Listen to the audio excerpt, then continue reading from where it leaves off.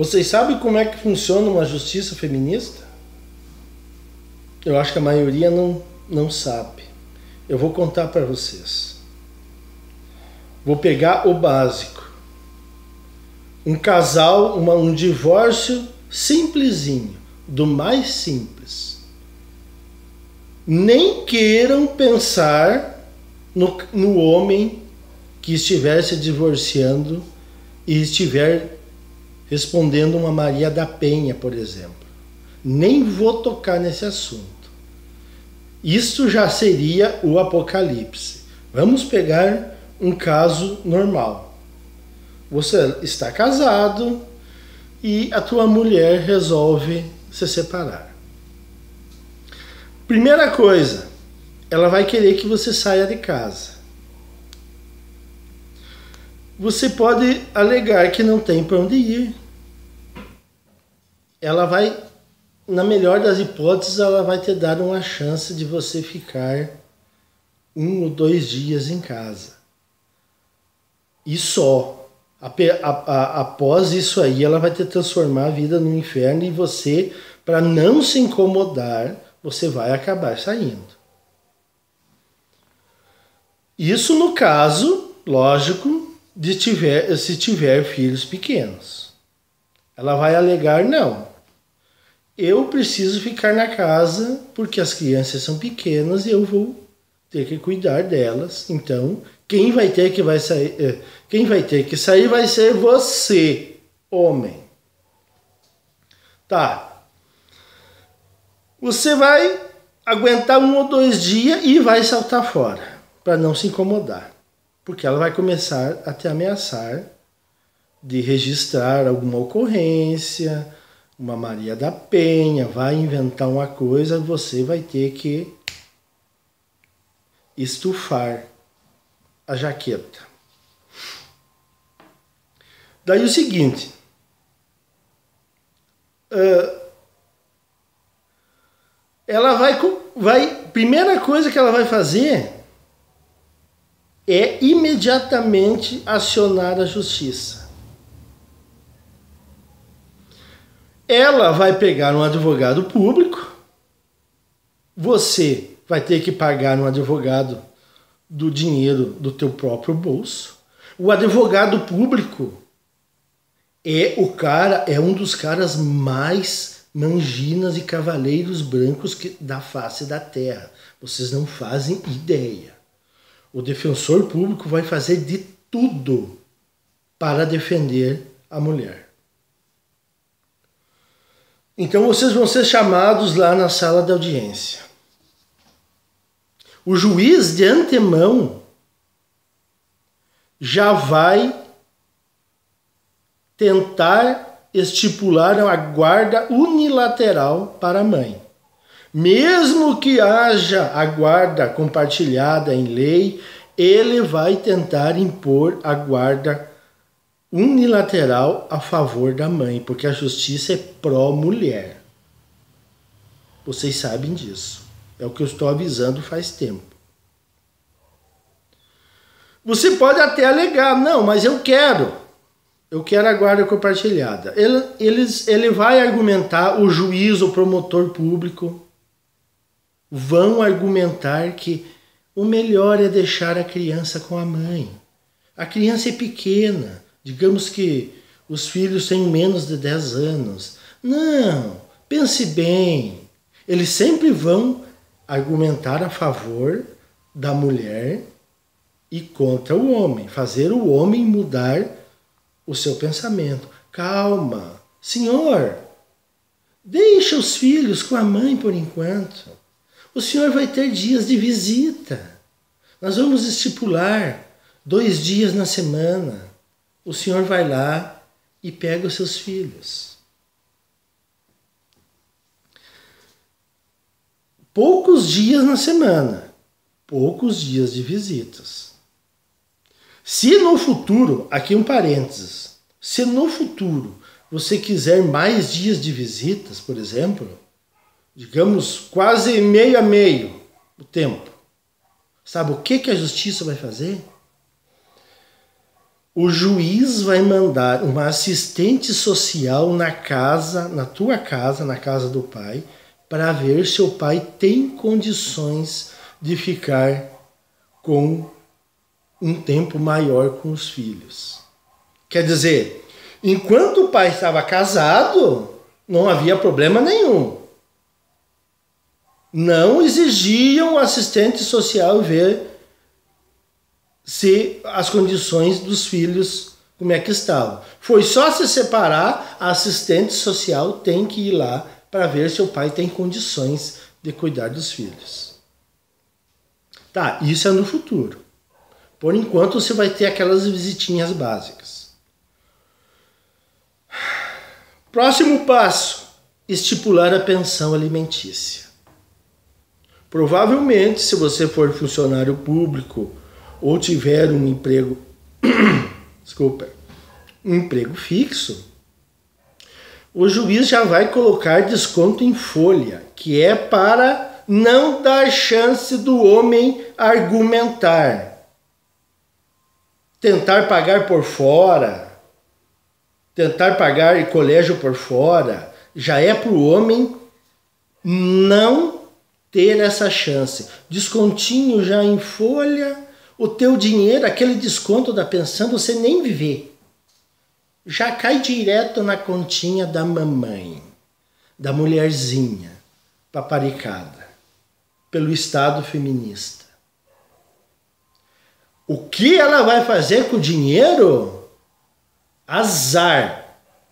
Não é exigido nada dela.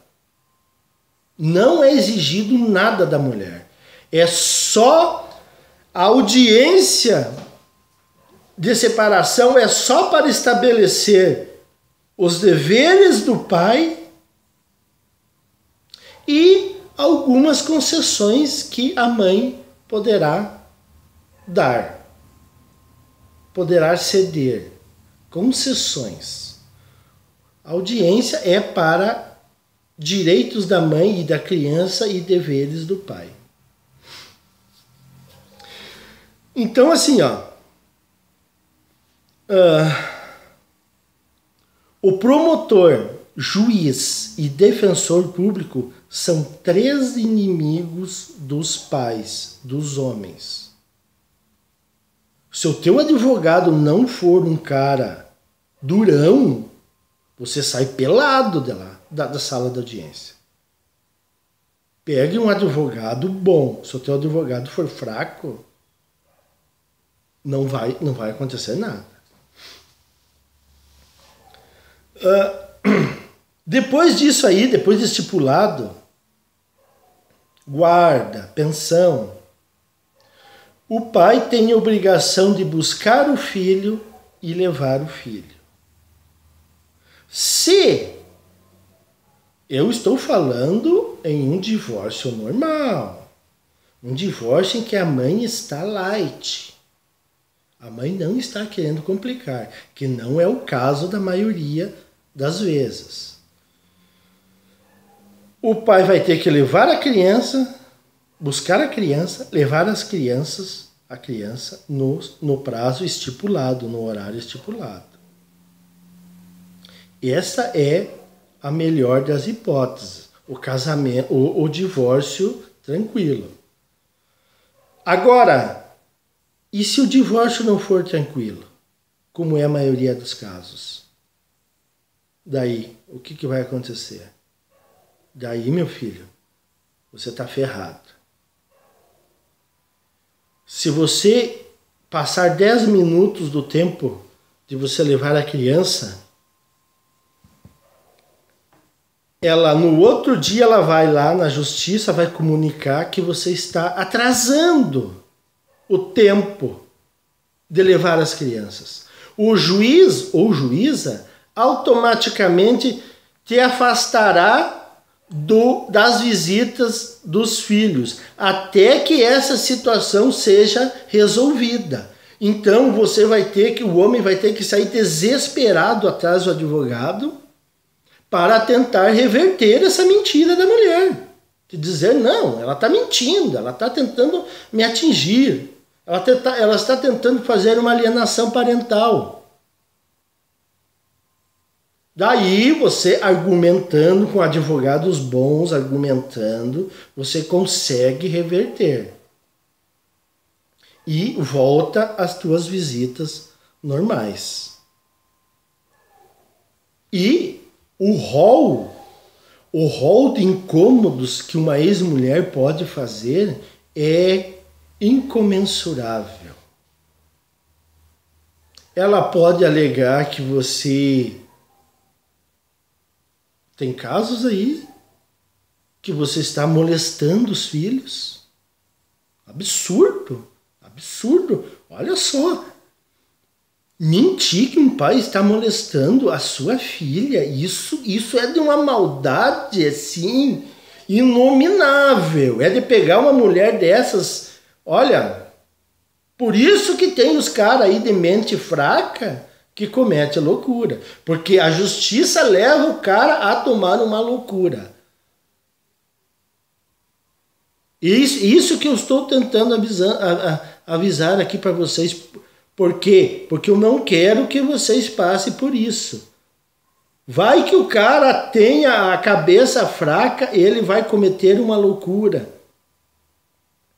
Não digo com os filhos, mas ele vai lá, ele vai perder a cabeça, ele vai lá, vai ameaçar os pais da, da ex-mulher, vai ameaçar a ex-mulher, pronto, tá feito. Ela vai lá, registra uma Maria da Penha, o juiz determina o afastamento dos filhos e deu para ti. Não precisa, eu não estou falando aqui em loucura de sair matando, não. Só perder a cabeça de dar raiva da raiva de você ser humilhado na justiça feminista. Você vai chegar uma hora, tu vai bater boca com a tua ex-mulher.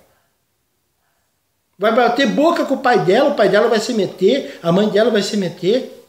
Você vai perder a cabeça. E daí você tá ferrado. Tu vai ter que engolir com farinha. E sem aguinha. Uma farinha seca